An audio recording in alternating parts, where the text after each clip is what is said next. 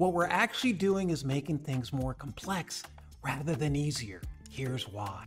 I, I use a quote from Matt Lewin, who's just a futurist I've followed. And he talks about how our experience as humans, we don't we so underestimate this in the hype of AI, which is what I love what you're doing.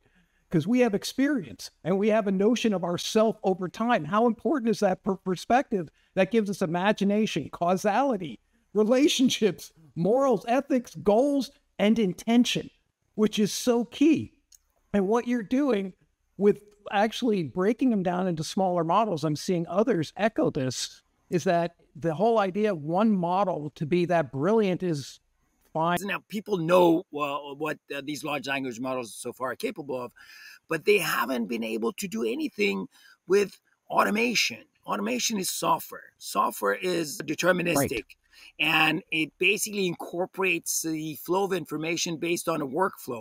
But in order to inject AI into software, if you will, we're going to have to rethink building software from first principle with the view of this AI. And the model that we're presenting is we think it's quite natural and very elegant and can solve problems from healthcare all the way to manufacturing. The software that we built using this tool is the first AI native software, is a project management tool with the name of our company, Amadeus.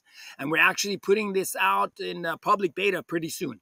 We have a kind of a private beta going with it. We've got a couple of enterprise clients as well on, on top of it. We weren't really planning to go into the enterprise market in the first phase. But so we were looking at smaller groups, and that's where our focus is going to be. But we're using our own product to build uh, our own product. So we're actually one of our own uh, top users.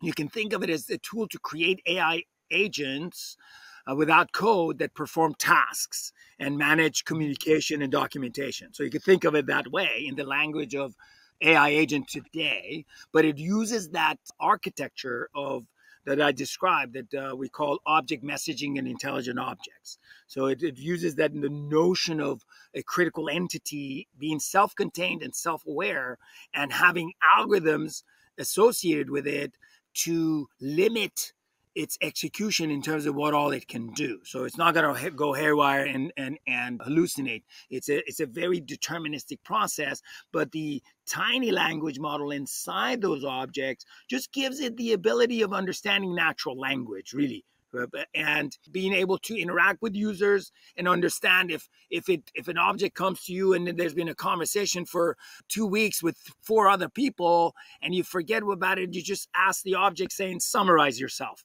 and just summarize it and say, well, highlight what Declan had to say about it. So instead of you going reading, you know, three weeks of history, it, it right. can interact with you in an intelligent way. Or maybe you're an attorney and you get our system and you have four people working for you and uh, you want to assign things to people. So instead of sending him a message, you create this task agent and say, Declan, do xyz for this client and it, it's belonging to this project you know? So and that object comes and tells you and then you sit there and go well i need susie's help as well.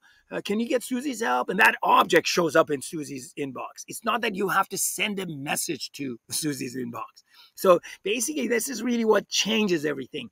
That's why in my introduction pitch i said instead of shuffling dumb messages back and forth you're basically exchanging intelligent objects, and these objects just know where to go because if if you tell it, uh, tell ask Declan if we need something, it's like an intelligent agent. It's not a message. It'll show up and say, "Do we need?" and it knows what to share with you. So this is really by design, and you basically we're giving behavior, very predefined, disciplined behavior to these critical entities, these objects, and then we let them loose.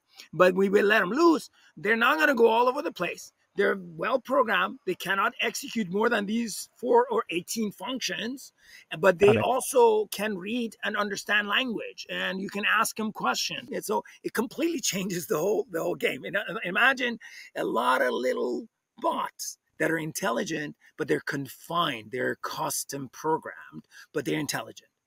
So, they, but they're not going to run wild, you see?